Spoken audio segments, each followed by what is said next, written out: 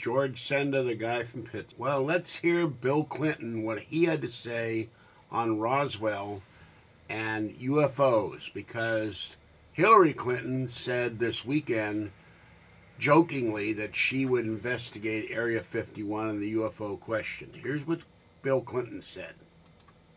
If there is one, I don't know it. I mean, I really, the, the Roswell thing, I think, really was an illusion. I don't think it happened. I mean, I think there are rational explanations that I have succeeded, and I, I did attempt to find out if there were any secret government documents that reveal things, and if there were, they were concealed from me too. It wouldn't be, I wouldn't be the first president that underlings have lied to or that career bureaucrats have waited out. But there may be some career person sitting around somewhere hiding these dark secrets even from elected presidents. But if so, they successfully eluded me. And I'm almost embarrassed to tell you I did try to find out.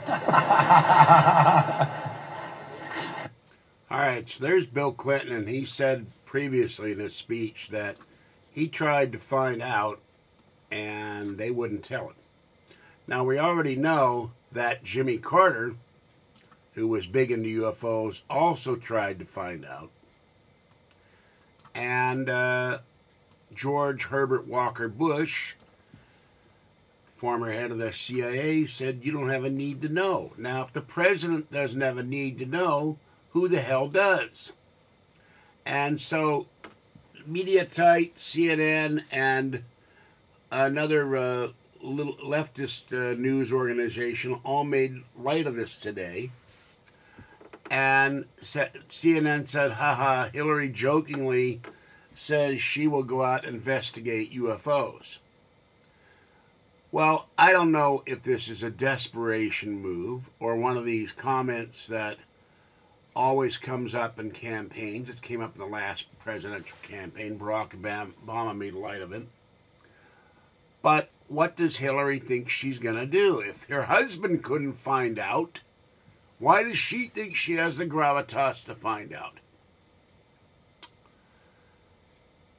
If her husband wasn't told, if Jimmy Carter wasn't told, we sure sure had we had one document released under George Herbert Walker Bush. I don't know how many we had under George Bush, George W. Bush. But Hillary Clinton's going to suddenly find out disclosure? And Bill Clinton didn't believe, doesn't believe that Roswell ever happened? So I don't get this one. Is this just she realizes she's going to have to go after Donald Trump and is grasping for votes wherever she can get them, including the UFO community? You tell me. It's very, very strange to me. I, it, it, why now? Why before even the Iowa primary would Hillary Clinton get asked this question? Or is this a feeler to see what people will think? Or are we usually having the carrot dangled on the stick as if we're going to get told disclosure again just to make Hillary look good? Dan, if I know. All right.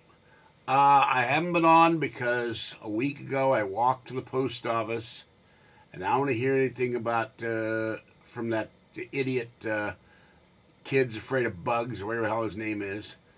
Walked to the post office, my normal walk fed Orangey the cat, and came back, took a shower, lied down, started screaming in pain. And after four days of that, Patty, of all things, took me to the emergency room because Kathy was sleeping. And they said it's a sciatic nerve problem. I had pain going up and down my left leg. Left thigh, left calf, left foot was all numb. Left knee was hurting and I am able to walk right. I'm taking pain pills and I'm taking the sciatic nerve stuff, and I go to my surgeon on Friday to find out what the hell's wrong with my foot because now the swelling has gone from the right side of the foot to the left side of the foot. I don't know what I did. And uh, I don't know if anything to do with my weight or not, so don't start on that on me.